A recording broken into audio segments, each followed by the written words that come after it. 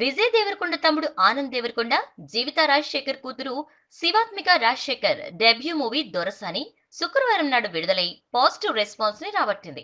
తెలంగాణ గ్రామీణ నేపథ్యంలో pure love స్టోరీని తెరకెక్కించారు దర్శకుడు కేవి మహేంద్ర.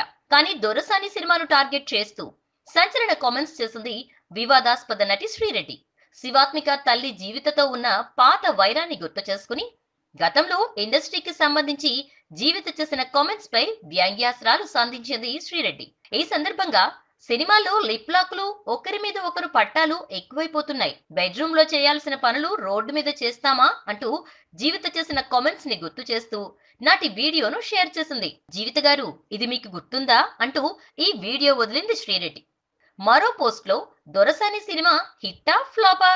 శివాత్మిక రాజశేఖర్ని కిస్ చేశాడట ఆనంద్ దేవరకొండ. ఈ టాపిక్ పై ఫేస్బుక్ లైవ్లోకి వస్తున్నా అంటూ పోస్ట్ వదిలింది శ్రీరెడ్డి. జీవిత గారు నీ కూతురు దగ్గరకు వచ్చేసరికి ఎన్ని పత్తిత్తు కబుర్లు చెప్తున్నారో ఒక్కసారి తవ్వుకుందాం.